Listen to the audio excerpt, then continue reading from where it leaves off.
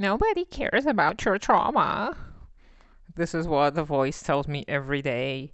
Every day, this abusive voice, which is the voice of trauma actually, tells me. It tells me nobody cares. And I'm like, well, I care. I'm not a nobody. I'm a person. I care. So leave me alone. Well, I've been dealing with this voice for a while, and I know that most of the people have this voice. You don't um, necessarily are classified as neurodivergent if you have this kind of an abusive voice, just letting you know.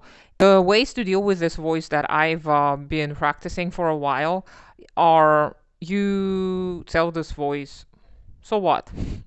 like it tells you, nobody cares, and you're like, so what? I want to do it, I'll do it.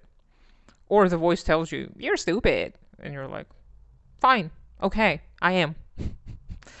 and another few and you can just imagine how it goes. Like with anything the voice tells you you just say fine okay what next?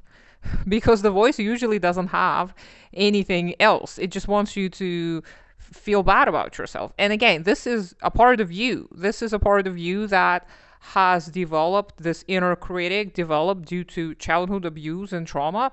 And the voice has adapted the narrative that other people have been uh, displaying to you. Either they were those people were directly telling you certain things, or they were um, indirectly uh, causing you to feel this way.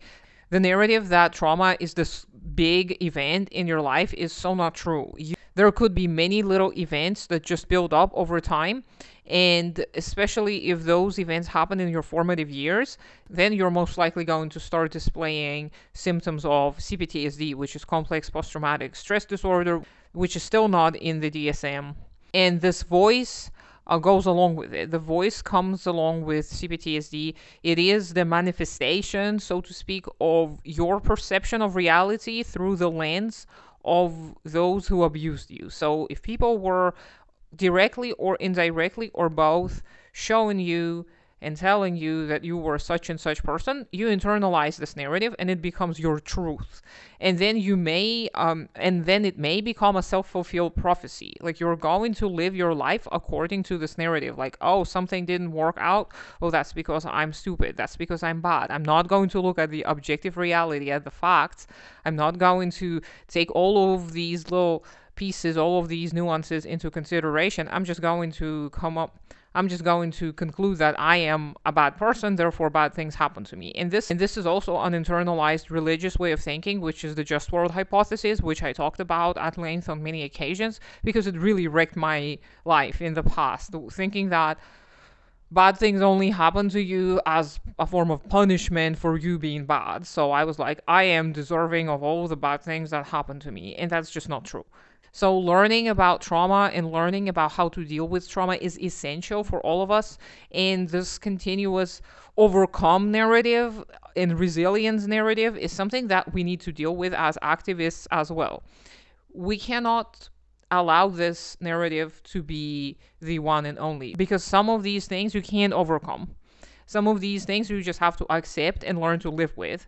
And there's nothing good about overstepping your boundaries. There's nothing good about overcoming your perceived weaknesses when it in the end makes you a less fulfilled individual because less fulfilled individuals are not very good for organizing. Like obviously we'll have to take what we have, we'll deal with whatever we have, but it is so much better to have the space for the people to process their trauma, to learn to accept themselves and learn to work with what they have. They have to understand their true capacities. Like we all have to understand that we're limited and we have to stop pretending uh, that we're these superheroes that can do everything, just push through things, force ourselves into stuff.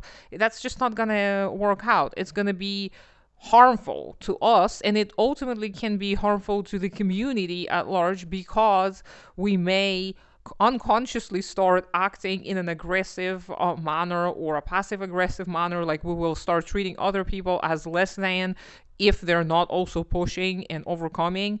So that's just a rant about ableism i suppose. This is a rant about how we diminish our own experiences and it is so good for the capitalist propaganda like the the myth that you have to overcome everything by yourself otherwise you're this weak individual um, who has no grit. This is all a lie that capitalists really really benefit from.